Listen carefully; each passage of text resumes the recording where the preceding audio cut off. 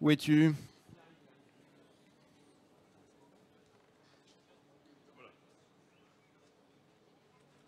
Ah, voilà donc Anodin. Ça, c'est un cheval qu'on aime bien. C'est un cheval que tout le monde aime, que tout le monde aime. La machine à gagner. Parce qu'Anodin, bon, rapidement, Anaba, euh, donc c'est le frère de, la crack, de la super crack, même euh, Goldikova. Lui-même fut un excellent cheval de course, gagnant de groupe.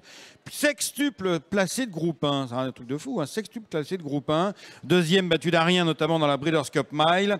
Euh, souche maternelle exceptionnelle, bien sûr, la mère est par euh, euh, Blushing Mais ce cheval a été recruté fort à propos par Tanguy Saliou alors qu'il était dans une année creuse en Normandie. Et depuis, et depuis qu'il est arrivé aux frontières de la Bretagne, sa vie a changé. Oui, parce qu'il a fait de plus en plus de vainqueurs. Et alors, des mauvaises langues disaient oui, mais Anodin, il fait un gagnant tous les jours, d'accord, bah, c'est déjà pas mal. Mais au niveau, au plus haut niveau, que se passe-t-il? Eh ben voilà, eh ben, il se passe qu'on gagne le groupe 1 avec King Gold, le prix Maurice de Guest, en plein été à Deauville. Il n'y a pas plus classe comme, euh, endroit. Et donc, Anodin, qui est toujours frais comme un, gardon, comme vous pouvez le constater. Il est tout jeune, hein, finalement, Anodin. Il, il vient de prendre 14 ans seulement. On en parle depuis des années parce qu'il est l'objet, bien sûr, de très nombreux intérêts. Déjà, au moment où il est né, c'était le frère de Koldikova, un fils d'Anaba donc.